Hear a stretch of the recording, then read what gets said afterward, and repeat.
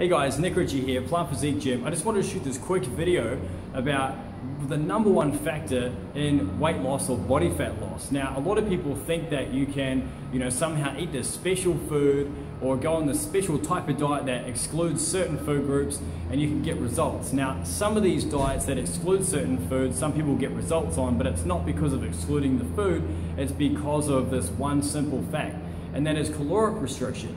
So we don't want people to constantly restrict calories, but if you have a very specific goal, then you need to be very specific with your nutrition and your training. So it has to be appropriate based on your goals. Let's say if you want to lose one kilo a week or 500 grams per week, then you need to make sure that you're in a caloric deficit only enough to lose that 500 grams per week until you hit your ideal weight goal.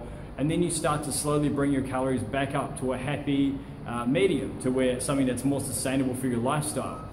So just keep in mind that the number one factor to weight loss or to body fat loss is calorie control, making sure that you're not eating too many calories to negate the effects of your exercise. Um, or negate the uh, effects of the healthy nutrition that you're following, uh, but make sure that your caloric intake is appropriate so that you've got a little bit of a gap between where your energy needs are, where your body thinks it needs energy, and what you're actually giving it. You need a little gap, so you just need to be a little bit less under in order to lose that two to 500 grams per week, which is pretty healthy, and that will help you to get consistent results over the long haul, over say a 10, 12 week period or longer, 24 weeks. And then of course, once you're done there, you can slowly increase your calories and go from there. So keep that in mind. Number one factor for losing body fat or losing weight is keeping that calorie control.